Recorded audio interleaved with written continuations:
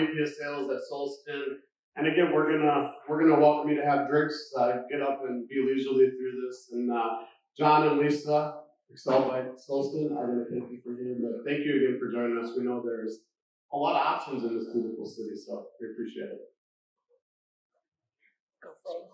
Okay, uh, so start introductions, I guess. So I'm Jonathan Taylor. I uh, head the production team at AccelByte. I've been in the game industry for 16 years now.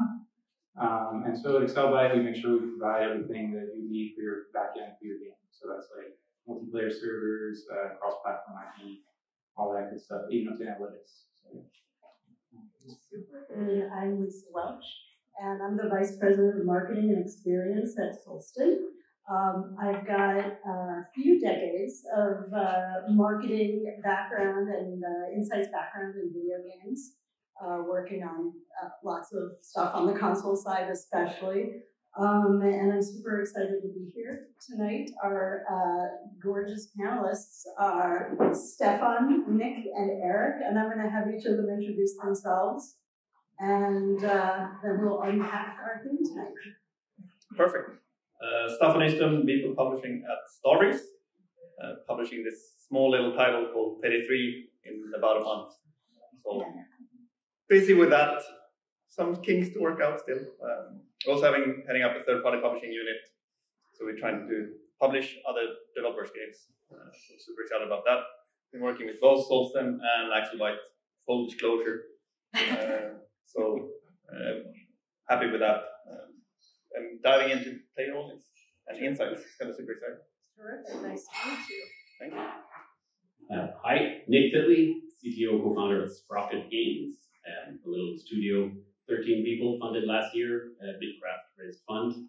X-Riot, CCP before that, um, friends of Solsten and users of Solsten, um, and good friends of AccelByte as well. So excited to be here. Hey folks, my name is Erik, and I'm the grandson of Santa Claus. Someday, in about 100 years, when my beard is all white, I will become the next Santa Claus. But Santa said to me, before I can become Santa, I have to learn how to bring joy to the people of the world. That's why now I'm the CEO of the DoDreams Game Studio. We're the makers of Drive Ahead. It's a gladiator car fight game where you get points by hitting friends in the head with a car. Nice. Um, and I didn't know this about you, Santa, but ironically, my birthday's on Christmas Day. Wow. So here we are. What a blessed event. the, um, the theme of our night is connecting audiences and connecting with the audiences and mastering product perfection. And talking about players and players' experiences, like it's it's the dopamine of my career. I can't stop talking about it, and I love hearing the perspectives of people who are creating the games and talking about how they approach the audiences for whom they're going to create these amazing experiences. So, for you as game creators, where in your studio's creative process, creative development process, do you start thinking about audience? Well, start. I can start. I think we have this one way of looking at it. I think there's one way we should be doing it, one way of that we're doing it. A lot of times, game developers especially come up with a fantastic creative idea that they run with. That's maybe not the smartest nor the most profitable way of doing it. So instead of looking at it, I would prefer to look at okay, where, where's the market? Where should we be in the market? Where's the gap in the market? And figure that out. What are the pain points of, or like, where, where could the player go into and have fun? What's the missing piece that we can then figure out and then monetize, obviously, and get money. So I think there's two ways. Yes, we can do the, looking at a creative idea and then driving that forward and doing it, but it, I think it's long, it's long-winding road, and it's also fairly expensive. Do you have any example? Do you have any examples of when you started with audience, ended up in one place versus starting in creative direction, and then trying to understand the audience and fit with that game? Yeah, I think I mean Payday Two has been live for ten years. Then we have sort of we they will have an audience insight. I mean, content developing. And I think we, we started talking as well, especially when we had a call before this, like this one way of looking at it from a, a live ops games, and then obviously coming out with, with a new game as well. Uh, I think with multiple op- like multiple games, especially from my early when I was working wargaming, we we shut down games all the time. And I think we did that because we didn't really look at the audience insight. We came up with brilliant creative ideas that we then tested on. We did test them on marketing, and I was like, okay, we of them flew. So then we kind of shut down. And what are some of the pain points that are navigating this, understanding the audience for you? Anything uh, you've either experienced or desire to overcome in learning about how to inform your creative process? I think getting getting the insights is the hardest, and really like diving into it and, and getting the games teams to understand. Because you can have an analytics department in getting all this data, but then getting that actually in to the game development teams can be definitely that's definitely hard. An example of a success story in that conversation. Um, I would say like we took Payday three is part of it. We took audience data from Payday two, and really, we, I think that somebody from Solsten done that, but I think twenty five thousand interviews in depth uh, through the tool that you, you provide. So we got a lot of audience insights that we actually used to both in terms of marketing campaign, but also looking into what triggers the players in the game. Think that's part of Payday 3 is hopefully, we don't know, but it, it's looking good. We'll see next week. Yeah, we'll see, yeah, we'll see, we'll, we'll see in a month. But it's, it's looking really good. I mean, we get fairly good reviews. So we're. Terrific. Thank you, Staffan. Nick, how about for your team? Where in the process do you start considering the audience? They minus one. So for us, that conversation started before we funded a studio, even before we selected the space we were going to be in. So that's how important that was for us, and still is today. So we're bringing it throughout the development cycle. We're still in prototype of our first game, which I cannot name or describe too much. but um, but yeah, it's it's critical for us to not understand just the genre and what people expect from this, but what the audience is and what they truly want. And sometimes they're not as matched as we think they would be. Um, and so, yeah, as early as possible and, and consistently as possible as well. Is there a way you could share a story without disclosing too much about maybe how you talked about your audience or how you related to your audience prior to really unpacking your creative direction? I mean, I can, yeah, I can talk in some specifics on that. um, we initially had a genre in mind that we wanted to go after. We, we kind of did our own research, did a few companies helped us in this as well. Um, and we expected to see um, strong attachment to that genre from the audience that we had targeted within this. And completely to our surprise, that was not the case. The players were more than happy to go genre to genre, and that blew our mind a little bit and made kind of made us realize that the market for what we were building was much bigger than we anticipated, which is nice. like a joyful realization, really. They don't come as big as that. Um, and so, yeah, it was great. It was great to do it and realize it, that we were a lot less constrained. And but the consequences of that was that we started to have to look a little broader and, and how we were thinking about the game and for whom we were making it. Um, and then and slightly change, without giving too much detail, slightly change how broad appeal we could bring into that genre. I love those moments when you discover the unknown unknown that opens up an entirely new pathway. Mm-hmm. Thank you, Nick. Erik, how about for you? Where's the audience uh, factor into your creative equation? Well, I think uh, usually it's too late. So that's the, uh, and I think we can be honest about it. That you know, everybody is here because we're passionate about games, and you have a vision, you have an idea of the game you want to make. So sometimes you know, asking these questions like, "What does the audience want?" is it's it's it's like a distraction to the author who already has the vision in their mind. But but then I, I found that uh, that uh, what my team often asks me is that what are we doing? Yeah, what are we doing? So you have to have like this clarity. So how can you have clarity and with a with with uh, be sure that you know this is the way and this is what we're going to focus on. And I feel that this this uh, audience insight has has helped there. And and uh, uh, and obviously we, we, once had this conversation that you know drive ahead is the game we developed it's, it's going to have its ninth anniversary in may so the team says that we read the reviews and the ratings and we hang out in the community and even i i hang out there and we felt that we know our players but then when we asked them then we realized that, that we had forgotten something along the way for, for drive because it's a silly premise to get points by hitting your friend in the head with a car. I'm Unsurprisingly, the number one reason why everybody downloaded was for humor and fun.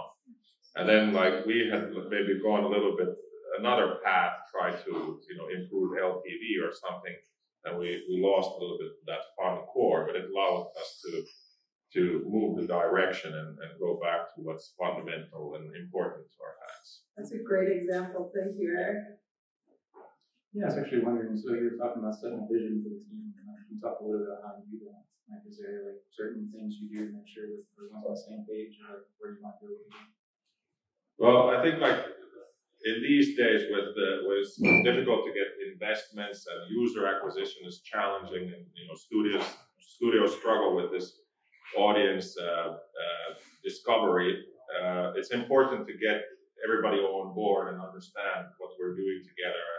Not just with the team, we found that uh, this audience insight, and if you can somehow quantify that, that uh, that, that helps in presenting the, the business case to, to many partners. Because we used to think of almost ashamed to say this, but like market potential is defined by taking top grossing lists as far as you have energy to do it, then you calculate consumer spend together and like this is the market, but it's not. It's like how many consumers are there who could potentially like this game and how much money do they spend on games uh, on some time frame, like monthly then you calculate that together. That is the market potential. And this is like, I feel that uh, often these like product strategy decisions are are made, you know, uh, too much by like reacting to what you see in, in, the media or top grossing lists and then like thinking that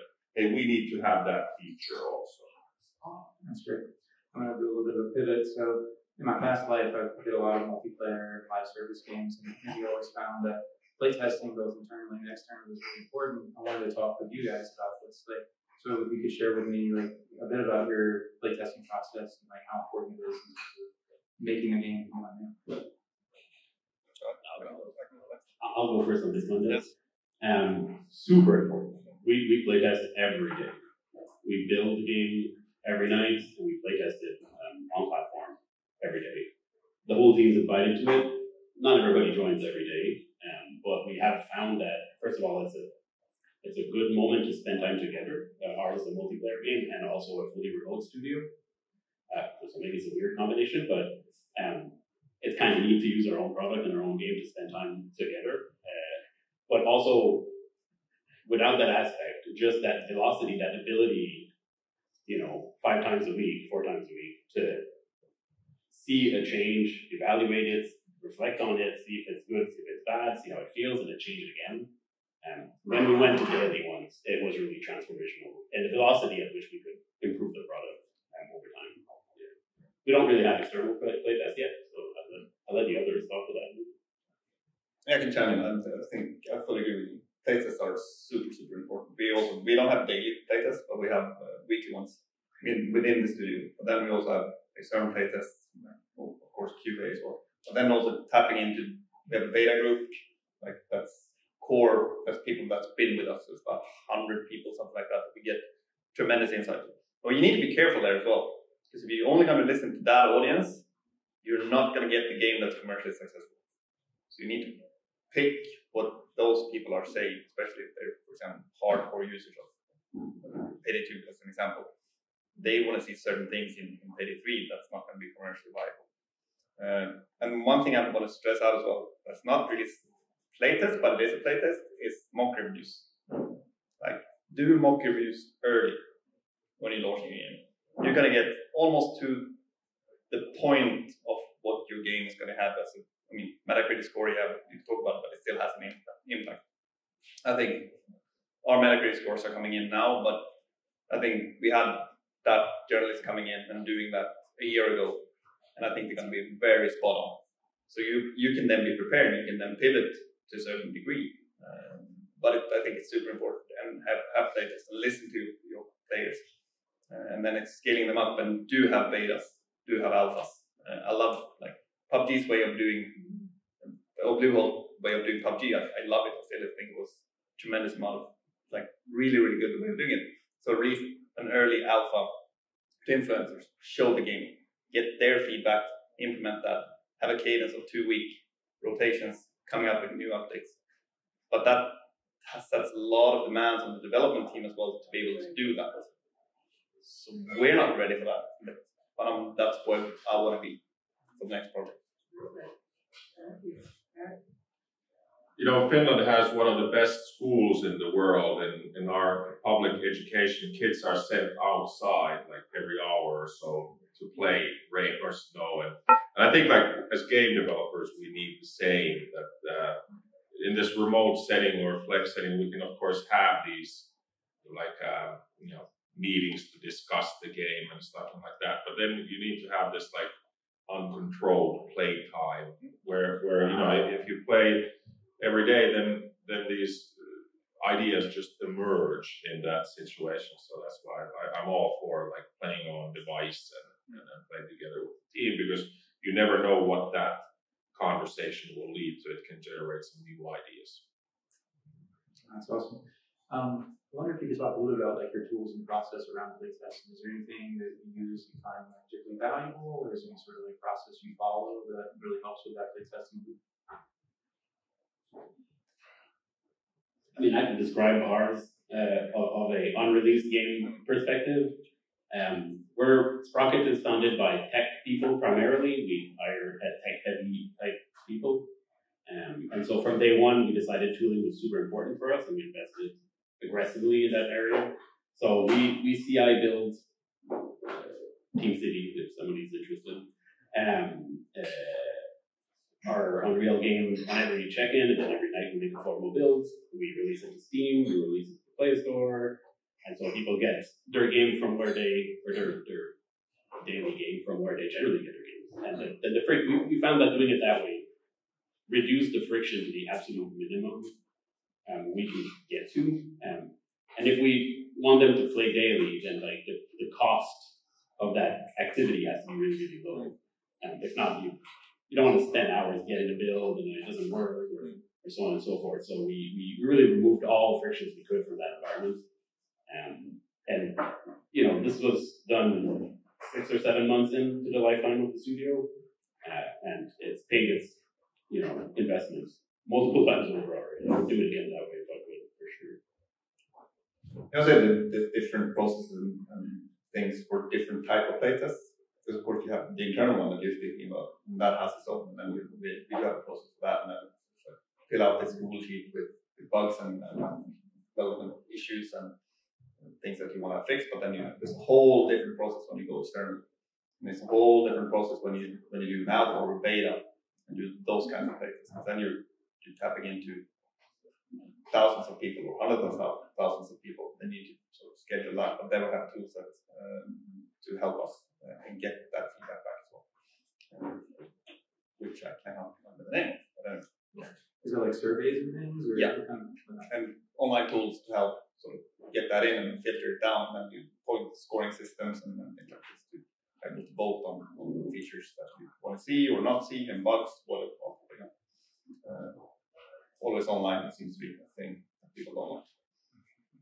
I think we we covered the question. Yeah. Right. Uh, thank you guys. It's, always great to hear the perspectives of people that I don't get to sit deep with and, and unpack your different processes and approaches. So thank you for sharing. Um, my last question is going to be around, um, you know, there's different ways that people relate or talk about uh, playtesting, uh, player insights, audience insights, and that oftentimes people will go, oh, we don't have time for that. It's just going to slow us down. Um, how are you experiencing it as an accelerant, having those insights as an accelerant in the process or a de-risker in your creative uh, development process? Yeah, I think uh, we're all human beings and people are afraid to mess up. So I know at least you don't like when people say that this uh, consumer player insight is like insurance, but it, that, that is one way to yeah. use it. Uh, but you know, maybe a better way to say it is to like find the focus and what is what is what is really essential. And uh, yeah, I think like the just like I just remember the first time when we were in a roadmap meeting and the team said that we should do this because it's what the players want, and, that's like based on data instead of like, hey, I was playing a game and there's like this game I like, you know, they they did something, and maybe we should it because we. Uh, for a long time, uh, we were like catching up, thinking that if we want to increase the lifetime value of our users, like what are the features that are missing in our game now. Let's like as quickly as possible put them there. And then we realized that in, in order to win in the market, you have to be ahead of the game. So like people don't download our game because finally now it has something that somebody else had like earlier. So like we, we have to be ahead of the game. This this player insight is like the only thing that can help us understand what what it is that they want next I feel like if I just a side comment on that, I feel like for the people that have experienced the light of getting that player feedback, it's it is seen as a creative generator, as a path opener, as much as it is a focus finder. So it's really great to hear to hear that that's uh, opened up on your side of the creative process. But I think it doesn't slow you down; it speeds you up. It, as you said, it gives you focus. So instead of you take shortcuts by getting the data in. And if you can get it early instead of getting it two years down the line. Finding out in market. Yeah. Right. when it's the most expensive and painful. Yes. You go to market and spend, especially mobile, spend a lot of money and then you don't get anything. That's scary. Nick, your thoughts on de-risking accelerants? How do you see? I don't think anybody can afford not to do it. Uh, it it's just wasted money and time. The sooner you can realize a bad idea, the better. So on that angle alone, like as fast as possible is the correct one. And then being data informed or data driven, people call it different things. Um, Riot Games like to call it data informed. Uh, so sometimes they go oh, against the data anyway, even though they have it. Um, uh, yeah, I, I, think it's the only thing you can do. Everything else is just taking random you know, chances and then hoping that it lands at the end after a year or two. Where were you guys like two decades ago in my career? no, but I think it, to my ears. One thing is, of course, there's a cost getting it, and I think that's why, especially smaller cities, are scared of getting it because I mean, it's an investment from guessing about twenty-five thousand up to two hundred fifty thousand dollars to get a proper research done and doing all those things. But it is an investment that can on paper and in the P&L look really scary. Uh, but I'm, I'm forcing it in on all, even the, the smallest third-party publishing titles. I'm forcing it into the P&L. There needs to be a research budget in there to be able to understand this and getting the, the feedback into, into the game. So it's going to speed us up in the end. We're going to not spend as much money on it in the long run, even though it looks like it costs yeah, I think, I mean, it's really been an unfolding over time. I, our orientation, just as an industry, as a business, I feel is we've watched that evolution over the last 20 years. So terrific that you're finding so much in that shift. John? Yeah, so we're going to end with like a, a broader question. It's our last one tonight. So, like, what is like one big thing, like an insight you had about like player behavior, player experience, or just about like making games in general, if you want to keep that broad, that you'd like to share with us? I can start. Um, I think mine is players say a lot of things and then they do it the opposite way, or they do things. Yeah, we don't want microtransactions as a thing. Then they still end up buying the shit out. it's like you, we don't want DLCs, but then they will still buy them. So it's like they will say certain things, especially in forums and things like that, and then will go and do kind of the opposite, or they will buy into things and not of course, listen to your audience. That's not what I'm saying. So please listen to your audience. But they, especially when it comes to monetization, that is the thing that you know don't listen to. That's like the spirit of what Nick said. It's uh, data informed, not data dictated, or whatever term you used. Interesting. Well, I think for me, it is that uh, you can't assume things about uh, players, or you can't think that everybody is like you or thinks the same way as you.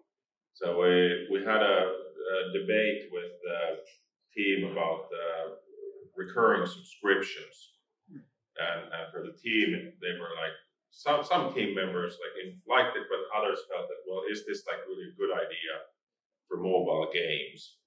And and and then we looked at the the data we had, and we we noticed that there's a big portion of players in our game that want this steady progression.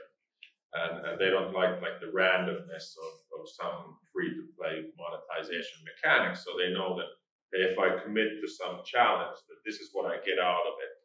And and uh, and then I and then we looked at like how they spend otherwise on entertainment, and then top ten are like like I don't know X six or seven like uh, gaming subscription services, and well maybe they would like to spend money there again, but we just never gave them a good enough reason. Uh, and and it, like the people who like it, they really love it. You don't have to force it on the others who don't for those, it's like really the perfect no-brainer deal that I want to spend like five bucks a month on this game. Give the opportunity. Mm-hmm. Yeah. Uh, for me, the biggest revelation or surprise um, was that players were less genre constrained than we thought. They were a lot more friend group constrained. And we, we didn't really go into this expecting that, but we poked around um, around it and we realized that the, the market size that we had predicted was actually smaller than it really was, as in there was more people willing to play the game we were making. Um, uh, because people want to play with their friends, which I don't know. In retrospect, sounds completely obvious, right? When you say it, when you hear it, but somehow along the way, maybe we forgot that like people like to have fun together and, and, spend time. But um, yeah, people will hop between genre much more than I anticipated, than we anticipated and and they'll they'll go with their friends and or where their friends are importantly. And so that was that was quite a surprise to us. I mean, and, and that's one of those foundational nuggets of wisdom that you're like, wow, this is going to apply across all the titles that I work on, even though we discover some of those things within a, a particular game experience. So th- those were such beautiful stories. Thank you. I want to see if anybody's got any questions for our panelists before we wrap it up and let you keep uh, cocktailing and snacking.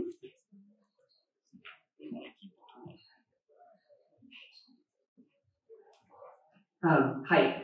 Um, thank you all very much for, for the panel. Um, one question, it's um, starting with a with a quote. You know, like Ford said that if I had to ask my customers what they want, they would say like a faster horse. And so, um, to what extent do you consider that market insights and therefore to some extent, not fully, but to some extent, audience insight is a lagging parameter in the sense of if you have a breakthrough creative vision, like when Dota emerged, or League of Legends emerged, or when Fortnite came into existence, or and so on. Um, to what extent is it reconcilable with existing audience insights as to what players actually want, and to what extent should like obviously if you're creating like another match three game or another 4x game or another platformer like you have a very very large basis to go off like in terms of reference games and so on. But to what extent is this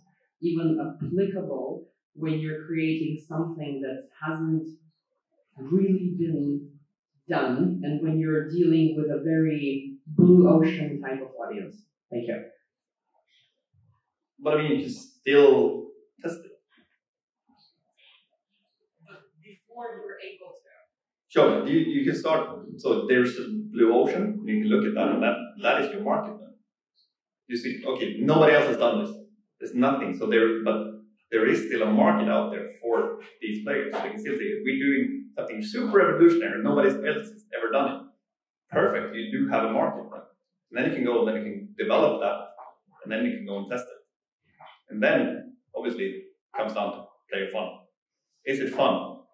Then it's even more of a market. So that's how it's. You can always test. But I think the the question is that who and what do you want to be? It's okay to be an if you have that vision, then just go do it.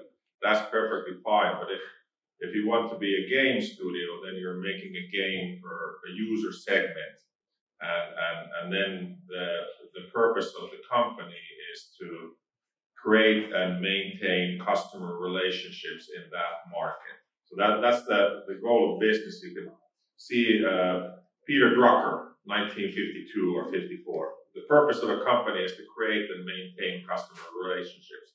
That's, by the way, how it uh, creates uh, shareholder value. Uh, and and uh, so the, we have heard people say that the best games can live for decades when they're developed with communities, and I, I think it's so. But it's a lot more than asking that, do you like this? Do you want this?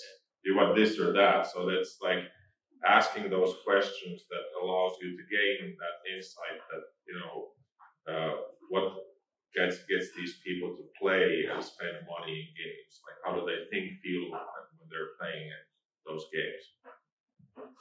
And there's no early enough. That doesn't stop you from doing something and exploring an undone idea. There might be a reason it's never been done, um, and you should go and figure out if perhaps the reason is not the one you expect it to be. Uh, like an untapped, broad, open market is what we all dream of. Uh, a dead end is what we all fear. And so finding a way to not walk into that early is, is paramount, I think. Now, if you're doing an art thing, I agree. Nothing matters. Do your thing. and all the power to you. And if not, test as much as you can, as early as you can, and put it in front of people, whatever you have, to validate your assumptions that you have, in fact, the, magic sauce that we all strive for. Do you ever have conversations with friends and they say that I dream about starting a small cafe it's not easier doing a small restaurant or a small, you know, like why why would you make all that effort to keep it small? So like, I guess the question that I would ask the team that do you want to make your vision of the game, or do you want to make a game that will be remembered forever? So are you are you like which is more important for you? And like like we discussed that, well, what is the North Star metric for us? And, you know, I, I originally said that, that our North Star metric is to grow our day 90 lifetime value by X percent by the certain, you know, date.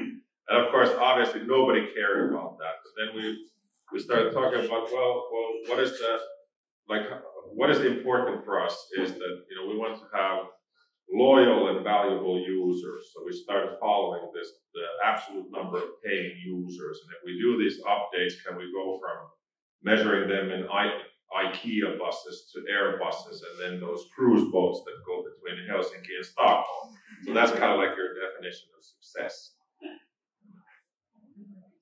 Um, I think we've got time for one more question, and I think I'm gonna ask it. And the question is, I, I want to tap into the audience insights of the audience we have here. Do we want to go drinky? Or do you want to ask one more question? Or number three, do you want to ask questions while you're drinking? We can all just mingle and you can approach your own panelists with your own question. Uh, votes? One, two, or three? Who's got votes for one? Nobody's, everybody's afraid of putting Somebody up their own. have questions? Do I have another question in the audience? All right. I'm gonna I'm gonna pick that guy with the glasses. Sorry. Sorry, Eugenio. Yeah, and, and we showed up a little bit late, so sorry if this has already been asked. But I was going to ask um, when, you know, obviously we're also big believers in testing early and often. And for your guys' experience when it comes to feedback, how much are you prioritizing the size of the kind of metadata that you collect in terms of the number of users that you're testing with versus the quality of that feedback in terms of organizations, groups, or, or even internal uh, kind of alpha playtester groups that will maybe give you more detailed feedback. Like, where do you kind of sit on that scale of it's the quality of the feedback and how in depth it is is what's most important versus when does it move to more of a we want to see all the all the metadata through the patterns. Fine, I'll start. Um, both are important, but they're just different. They're, they're, they're completely different things from where we're sitting. So internal playtests are from a playtesting team or, or vetted, you know, recurrent playtesters have one quality to them. They'll, they'll help you navigate your day to day or your week to week, get some feedback on something, try a thing, back out if it's not working. But like their eyes are not fresh and they're not really your, your market audience. They're not really the people that will vote with their wallet when the game comes out. They have a relationship with you. They're if it's your employee, then it's even it's even worse in some ways, right? They're, they're playing a game that they would want to make maybe, and, and so it's not quite right. So I'd say you got to do both. You got to do, you know, your fast fast paced, recurrent, internal or, or semi internal type of testing, and then never forget that at the end of the day, you're not making a your game, you're making the game for, for a player somewhere, and, and you have to find them, whoever that is, and, go and go get their opinion. Yes, I didn't. So when we did the product segmentation for marketing only for, for 3, I did both because I didn't trust. I did all three. So I looked at Payday 2 together with Solsten, and then I looked at qual- quantitative research uh, with uh, with Nielsen as well, and went out interviewing. I think we interviewed 2,000 people, and then we also had some sort of filling in forms and stuff like that. And then I think no 5,000 people, and then we had qualitative interviews for 500 of them. So I did all of those things. So and I think you do need to do all of them. Then it comes into different when in the lifetime of the project as well. So you need to start. You probably start out small and ask those kind of questions in the beginning because also you don't want to spend two hundred fifty thousand dollars on an external research when you have some a game pitch. But so you need to sort of look into, but really start look again. I'm also advocating for where's the gap in the market, do research on that, and then set the foundation pillars for the game that you're going to be developing and give that to the development team. Because then already there you have a head start. Do, do you think those numbers are about the right? 5,500? That was what I put in the budget, so that's what we got. Somewhere along those lines, yes. Uh, and 20, we got 25,000 from the research we did on, on our old audience of Payday 2. So I, was, I think that's, I like around 20,000 respondents when it comes to, to sort of the current game. So that really sets the, and you have a lot of data and it's really like secure. But I mean, you can work with a whole, a way smaller subset of, things that you guys know you could ask me about later. Yeah. so, uh, thank you to our awesome panel. Let's give them a little round of appreciation. Thank you. Um, thank you all for giving us your time and attention and your Wednesday night. Please talk to our panelists and enjoy the rest of your evenings. And all of you have a safe journey home. Thank you.